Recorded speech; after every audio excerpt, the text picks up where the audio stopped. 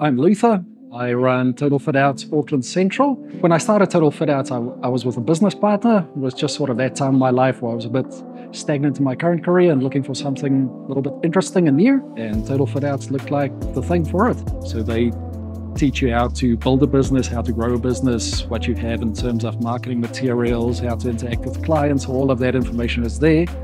But I think what helps quite a bit is the ongoing explanation of how to implement those strategies and concepts and that sort of thing. So even if you come from a totally different background or trade background, it still makes it, we call it an easy transition, but a, a straightforward transition from something else into a successful business owner. I would definitely recommend Total Fit Out to somebody that's looking to get into this industry. Um, it's really a, a, good bunch of people and they give you all the training and support that you need to become a successful business owner.